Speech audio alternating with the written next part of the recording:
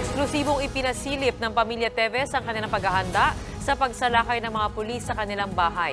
Kasunod yan sa search warrant na inilabas para hanapin ang mga baril ni Teves na wala raw lisensya. Makakausap natin sa linya ng telepono si Gary De Leon. Gary, ano ng aksyon ng pamilya Teves sa ngayon?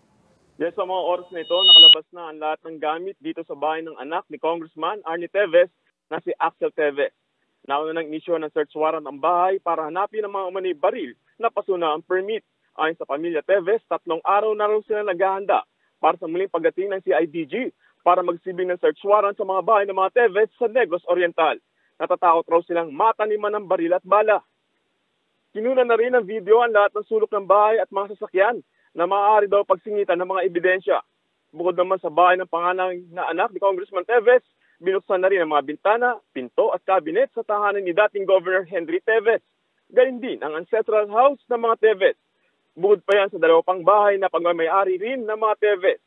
Handa na rin daw ang mga magbabantay sa paggalugad para masigurong walang magiging anomalya. Sa ngayon naman, mga tauhan at dalawang kapatid na lang ni Congressman Arnie Teves ang nasa Negros Oriental ngayon. Natatakot kasi ang pamilya Teves sa kanilang seguridad kaya't minabuti nilang umalis na lamang sa kanilang bayan. Balik sa iyo. Alright, maraming maraming salamat sa update, Gary De Leon.